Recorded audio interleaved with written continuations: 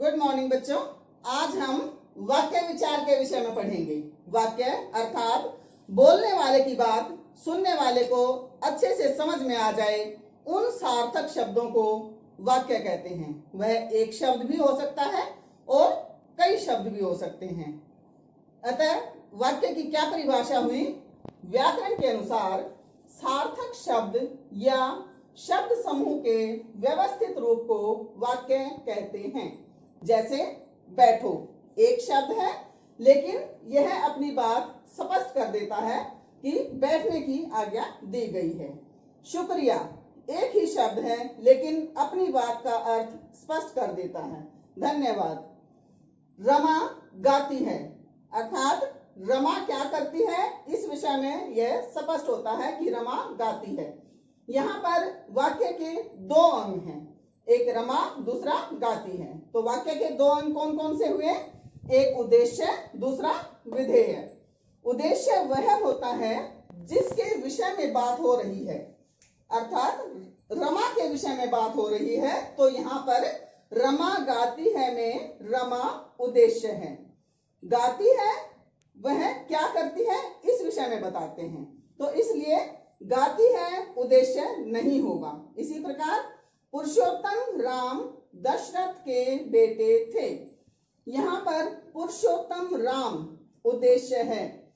उद्देश्य में विशेषण भी आते हैं और कर्ता भी आता है। तो दोनों का संज्ञा और विशेषण दोनों ही एक उद्देश्य में ही आएँगे, विधेय में नहीं आएँगे। अर्थात यहाँ पर दशरथ के बेटे राम की बात हो रही है, जो पुरुषोत्तम है। यह उनकी विशेषता है। दूसरा होता है विधेय। विधेय उद्देश्य के विषय में जो भी बात कही जा रही है, अर्थात जो बात हो रही है, वह विधेय कहलाती है। जैसे रमा गाती है में, गाती है। रमा क्या कर रही है? गाती है। तो ये गाती है शब्द विधेय है। पुरुषोत्तम राम दशरथ के बेटे थे। यहाँ पर पुरुषोत्तम राम के विषय में बात की जा रही है कि वह कौन थे? दशरथ के बेटे थे। इसलिए यहाँ पर दशरथ के बेटे थे, यह विधेय है। तो बच्चों, अब हम वाक्य के भेद जानेंगे। वाक्य के दो आधार पर भेद होते हैं, एक रचना के आधार पर और दूसरे अर्थ के आधार पर। सबसे पहले रचना के आधार पर।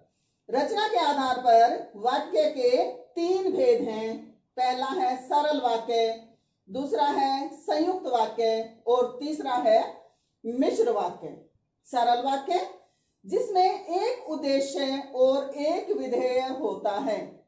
जैसे, वर्षा हो रही है, यहाँ पर वर्षा उद्देश्य है और हो रही है विधेय है। वह स्कूल जाता है, वह उद्देश्य है और स्कूल जाता है विधेय है। इसलिए ये सरल वाक्य हैं। इसके बाद आते हैं संयुक्त वाक्य, जिसमें दो सरल वाक्यों को योजक शब्दों जैसे और, तथा, व, किंतु, परंतु, इनसे जोड़कर एक वाक्य बनता है। जैसे, रमा गाती है और लता नाचती है। यहाँ पर रमा उद्देश्य है, गाती है, विधेय है। इसको दूसरे वाक्य के साथ और योजक शब्द से जोड़ दिया गया है।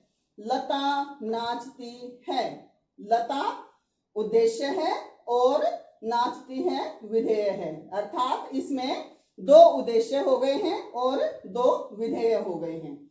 इसी प्रकार राम पढ़ता है, परंतु सीता खेलती है। यहाँ पर भी राम और सीता दो उद्देश्य हैं। पढ़ता है और खेलती है। ये दो विधेय हैं। इन दोनों वाक्यों को परंतु से जोड़ दिया गया है, इसलिए यह संयुक्त वाक्य बन गया है। अब आती है मिश्र वाक्य की बारी। मिश्र वाक्य, अर्थात जिसमें एक प्रधान वाक्य होता है और दूसरे वाक्य उस पर आश्रित होते हैं। इसमें वह जो ज्यो त्यों, जहाँ वहाँ जैसा वैसा कि वरना आदि शब्दों का प्रयोग होता है। जैसे, मुझे इस बात की खुशी है कि आप पास हो गए, वरना आपका साल बर्बाद हो जाता। यहाँ पर, मुझे इस बात की खुशी है। ये बात समझाने के लिए इसके उपवाक्य, इस पर जो आश्रित वाक्य हैं, उन्हें कि और वरना से जोड़ दिया गया है। तो इसलिए ये मिश्र वाक्य बन गए हैं। जैसे, आपकी वह पुस्तक कहाँ है जो आप कल लाए थे? यहाँ पर जो, योजक शब्द है, इसलिए यह मिश्र वाक्य है। जब पानी बरस रहा था, तब मैं घर के भीतर था। यहाँ पर जब और तब से वाक्य जोड़ दिया गया है, इसलिए यहाँ भी ये मिश्र वाक्य है? Go. तो बच्चों दूसरा भेद है अर्थ के आधार पर वाक्य के भेद। ये आठ होते हैं। इसको याद करने का एक तरीका है। विधा ने निशा से आज्ञा लेकर प्रश्न पूछा और अपनी इच्छा या संदेह को विस्मयादि संकेत से बताया। यहाँ पर सबसे पहला है विधानवाचक, दूसरा है निषेधवाचक, तीसरा है आज्ञावाचक, प्रश्नवाचक, इच्छावाचक, संदेहवाचक, विस्मयादि बोधक या विस्मयादि वाचक और संकेतवाचक। ये आठ भेद हैं अर्थ के आधार पर। अब इनकी व्याख्या करते हैं। विधानवाचक वाक्य वे होते हैं जिन वाक्यों में कार्य के करने का बोध हो, जो शाश्वत सत्य हो। जैसे सूर्य पूर्व से निकलता है, सूर्य हमेशा पूर्व से ही निकलता है, इसलिए यह विधानवाचक है। पृथ्वी अपने अक्ष पर घूमती है, पृथ्वी भी हमेशा अपने अक्ष पर ही घूमती है, इसलिए यह भी विधानवाचक है, अर्थात यह सही है। यह एक सत्य वाक्य है, इसलिए यहाँ पर विधानवाचक में आया। उसके बाद आता है निषेधवाचक, अर्थात जिस वाक्य में किसी कार्य के न होने का बोध हो, जैसे वह आज विद्यालय नहीं जाएगा, वह बाज़ार नहीं गया, अर्थात विद्यालय नहीं जाना, कार्य नहीं होना। बाज़ार नहीं गया, अर्थात यह कार्य भी नहीं हुआ। इसलिए ये निषेधवाचक वाक्य में आएँगे। अब आते हैं आज्ञावाचक। जिस वाक्य में किसी प्रकार की आज्ञा का बोध हो, जैसे तुम उसके साथ जाओ, बाहर खड़े हो जाओ, बैठो, दरवाजे पर रहो, इस प्रकार के शब्द जिस वाक्य में प्रयोग होते हैं, वे आज्ञावाचक होते हैं। अगला भेद है प्रश्नवाचक। वे वाक्य जिनमें प्रश्न पूछे जाने का बोध हो। अर्थात कोई ना कोई सवाल मन में हो और वह हम किसी से पूछते हैं वह प्रश्नवाचक वाक्य होता है। जैसे तुम कहाँ जा रहे हो? आप क्या कर रहे हैं? One. इसका पांचवा भेद बच्चों इच्छावाचक। अर्थात जिन वाक्यों में इच्छा शुभ कामना आशीष आदि का बोध होता है, उन्हें इच्छावाचक वाक्य कहते हैं। जैसे, दीर्घायु हो, किसी को आशीर्वाद दिया जाए, तब हम कहते हैं, दीर्घायु हो, चिरंजीवी हो। भगवान तुम्हारी मनोकामना पूरी करें, अर्थात आपकी सभी इच्छाएँ पूर्ण हो। तो ये इच्छावाचक होते हैं। अगला है, संदेहवाचक। जिन वाक्यों में कार्य पूर्ण होने में संदेह हो। पता नहीं वह कार्य पूरा हुआ है या नहीं हुआ है। उन्हें संदेहवाचक कहते हैं, जैसे, शायद आज वर्षा हो, अब होगी या नहीं होगी, इसमें संदेह है। वह, मुझे भूल चुकी होगी। अर्थात, ये पक्का नहीं है कि वह भूली है या नहीं भूली है, इसमें भी संदेह है।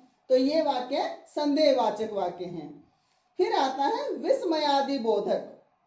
विस्मयादि बोधक में जिन वाक्यों में हर्ष, घृणा, शोक, भय, इस प्रकार के भाव हों, उन्हें विस्मय आदि बोधक वाक्य कहते हैं। जैसे, अरे, कितना सुंदर फूल है। छी, कितना गंदा फर्श है। अगला आता है संकेतवाचक।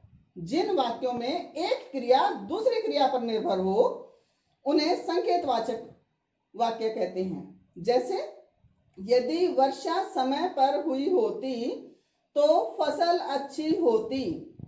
यदि तुम परिश्रम करते तो पास हो जाते। अब आती है अभ्यास की बारी। वाक्य किसे कहते हैं? वाक्य के अंग कौन कौन से हैं? रचना के आधार पर वाक्य के कितने भेद हैं? सरल और संयुक्त वाक्य में अंतर स्पष्ट करें। मिश्र वाक्य किसे कहते हैं? अर्थ के आधार पर वाक्य के कितने भेद हैं? संदेहवाचक और संकेतवाचक वाक्यों में क्या अंतर है? विधानवाचक और निषेधवाचक वाक्यों में अंतर स्पष्ट करें। तो बच्चों, आज आपने वाक्य विचार के बारे में समझा। इसे बार बार देखें, समझें और अपनी कॉपियों में उतारें। और जो अभ्यास के प्रश्न हैं, उन्हें अवश्य लिखें। धन्यवाद।